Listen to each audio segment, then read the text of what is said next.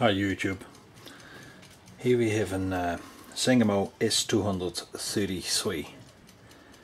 This particular meter is the same base model as the S231 but it's designed to drive a remote register.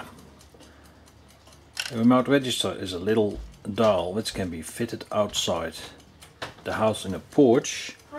So hang on, I'm just recording. Well, I'm just going up to the A remote reader is a register which can be fitted externally in a porch. When the meter is fitted inside the house, the reading uh, unit outside can be fitted in a porch or at the gate. So normally these two registers uh, line up in step. The Sangamo meter is wired as per the standard phase in neutral, neutral and uh, load wire, that's the white one two wires, external wires, they're going to the remote register. And it's uh, 24 volts with alternating polarity.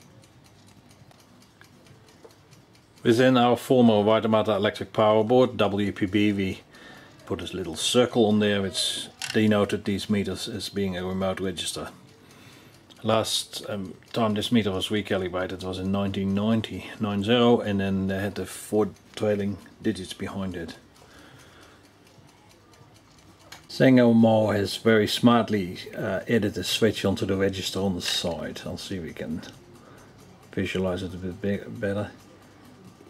Three terminal switch with a common for a supply. The switch is driven via the worm next to the orange gear wheel.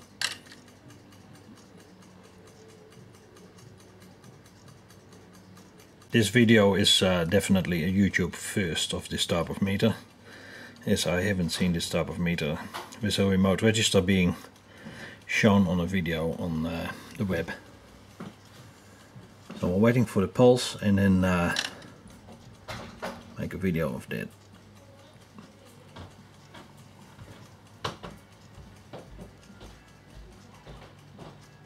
S233 the meter is alongside the Sangamo J3S. And a Schlumberger SPA01.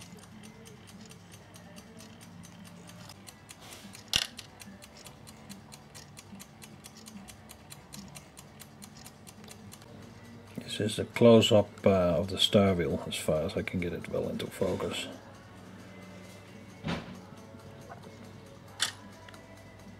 Good old Sangamos.